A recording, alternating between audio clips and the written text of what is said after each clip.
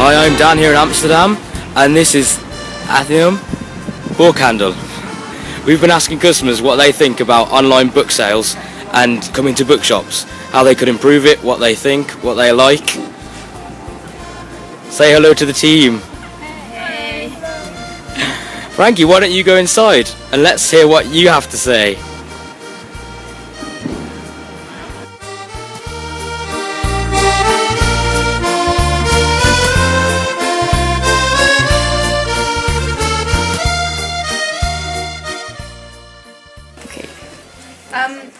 Why do you come to bookshops? Uh, just looking around and seeing if things are cheaper in this store or than the others. Uh, how often? Uh, one time per week. Okay. Um, do you think that bookshops could be improved with the cafe or events? Uh, no, I don't think so. It's No? Just for books and Uh, do you buy books online at all? yeah, book depository. Okay. It's very cheap and they have almost everything. Do you prefer buying online or do you prefer buying in the shop? Um, some books I wish to see first before I buy them. So. Okay. Why? Why? Yeah. Oh, I wanted to buy this book. Okay. I read about it in the newspaper. And Yeah. uh, I have it in my hands Okay. now. uh, how often do you come to buy books?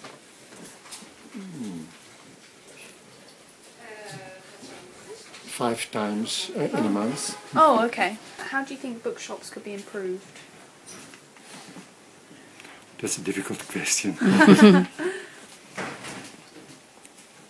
Do you think Oh. that if you put a cafe or reading yes, I've seen very good bookshops in Tokyo and in Sydney. And that I don't see in Amsterdam, but maybe that's not possible uh, to have it here. Would you be more because likely? uh, a lot of there are a lot of people and Ah. Amsterdam is a small village yeah. if you compare it with Sydney or Tokyo. Would you be more likely to go to a bookshop with a cafe, or I think so. yeah? In Tokyo, when I am there, my son is living there. Oh, okay. He's a Japanese woman. Yeah. Uh, I always go there, Yeah. okay. Maybe the- twice a week. Uh, the online bookshops started to boom, uh, did you Yeah. feel a difference in the sales? Well, we do feel a difference, but it's not as big as many people say.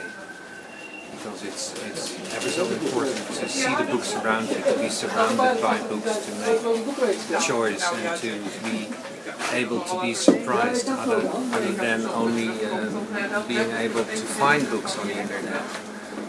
You always find what you're looking for on the internet and you find different things in a bookshop where there's actually paper books. Yeah. So you think that the physical bookshop has a different uh, role? It does have a different role. The, the bookshop is sort of like a missionary post in, in the urban society. You try to uh, give quality and quantity to people and you try to surprise people with new books that they haven't seen before or haven't read before about in newspapers or magazines. And that's sort of the role of the bookshop in society, I think. Do you think the bookshop needs to create an, a different atmosphere to uh, to draw people in, maybe? Well, there's a lot of bookshops that think they should do that. too. they, that they have to do extras, sell uh, wine or videos or whatever to make uh, the bookshop uh, place uh, like a theater. Well, it's not. The theater kind of thing about the bookshop are the books. So you have to focus on the books, and that that is what makes a good bookshop, in my opinion.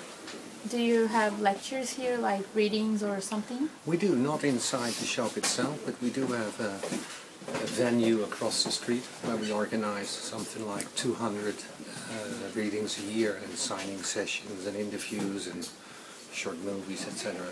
Does it help to sell? Well, that, that is a big help, yeah. What, what, what, what we call in Dutch, you have to open a window sometimes, and that is our window, amongst other things.